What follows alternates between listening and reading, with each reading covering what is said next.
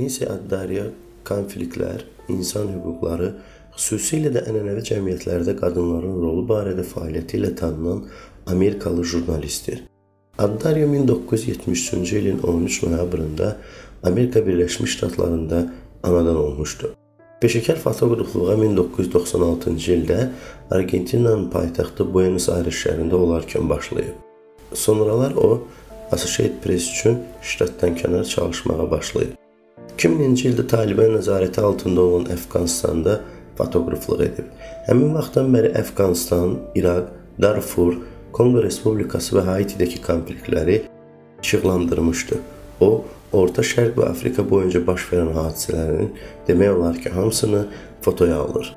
Addario New York Times, New York Times Magazine, Time, Newsweek və National Geographic üçün fotolar çəkirdi.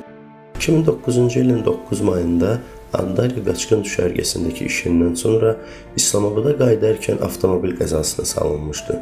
Onun körpücü sümüyü sınmış, digər jurnalistlərin biri yaralanmış, sürücü isə öldürülmüşdü. Addario 2011-ci ilin martında Liviyada yoxa çıxan 4 New York Times jurnalistlərindən biri idi. New York Times 2011-ci ilin martın 18-i bildirdi ki, Liviya onu və digər 3 jurnalisti azad etməyə razıdır. 3 gün sonra jurnalistlərin 4-ü də Liviya dövləti tərəfindən azad olundu. Addario presə deyirdi ki, bizim gözümüzü bağlamışdılar. Mənim əllərim və ayaqlarım möhkəm şəkildə arxadan bağlanmışdı. İlk üç günün çoxunu göz bağlı qaldıq. Bir neçə dəfə üzümə yumruq ilişdirdilər və davamlı olaraq məni zorlamağa cəhd edirdilər. Bu inanılmaz dərəcədə pis bir hadisə idi. Həm psixoloji, həm də fiziki cəhətdən təhqiredici idi. Yaxınlığıma gələn hər kəs yerimdən qaldırıb harasa aparır, sinəmi və başqa bir yerlərimə toxunurdu.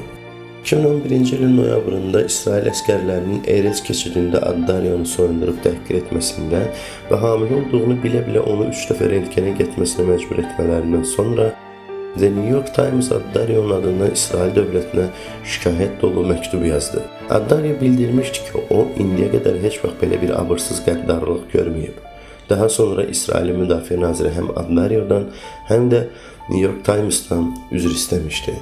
2002-ci ildə Beynəlxalq Fotoqrafiya Mərkəzinin Infinity mükafatı, 2008-ci ildə Darfurdakı işlərinə görə Jet Image təqaüdü, 2009-cu ildə Mac Arthur təqaüdü və 2009-cu ildə yenidən Vaziristandakı işlərinə görə Pulitzer mükafatına layiq görülmüşdü.